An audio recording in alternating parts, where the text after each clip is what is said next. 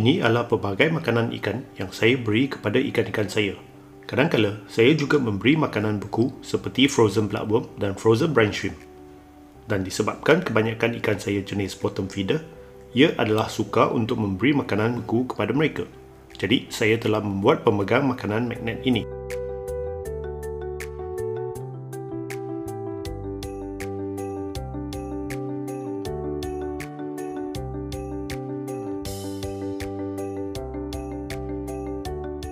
Selepas makanan beku dimasukkan ke pemegang makanan, anda boleh biarkannya dinyah beku terlebih dahulu sebelum diberi makan kepada ikan-ikan anda.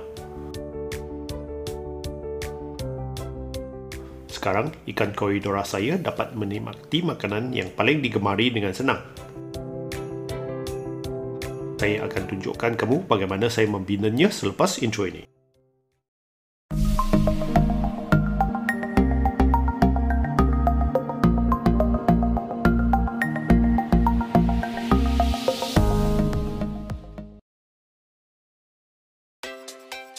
Pemegang makanan magnet ini sebenarnya diperbuat daripada pacifier bayi.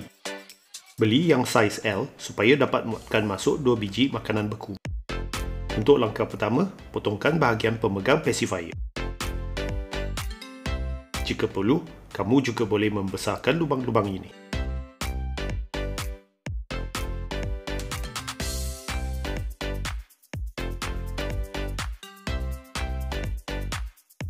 Sentiasa berhati-hati apabila anda mengendalikan gergaji.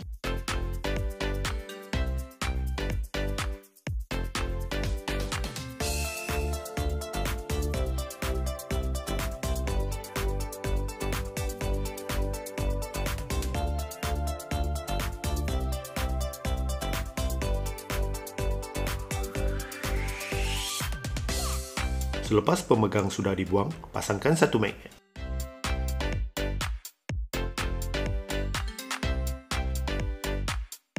Saya menggunakan hot glue untuk melekatkan magnet.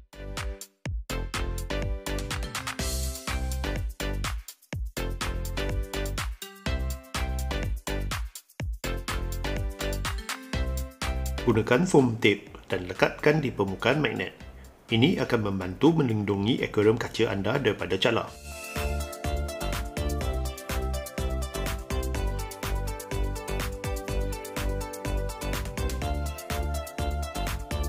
Potong bahagian foam tape yang berlebihan.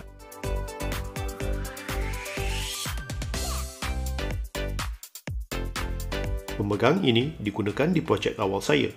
Jika kamu masih baru kepada channel saya, kamu boleh tonton video DIY perangkap ikan.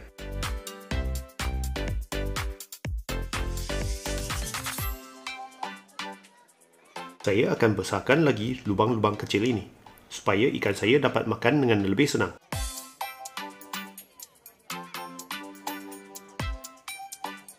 Gunakan pisau yang tajam untuk buat lubang-lubang yang diperlukan.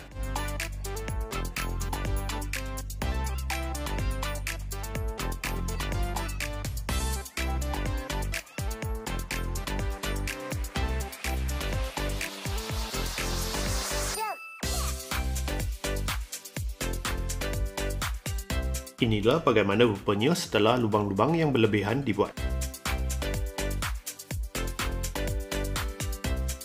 Pembinaan makanan magnetik ini sudah selesai. Saya sekarang mempunyai dua unit. Saya hanya perlu menambahkan lagi satu pemegang magnetik. Itu saja untuk hari ini. Tolonglah bagi video saya ini satu like jika ia bermanfaat kepada kamu.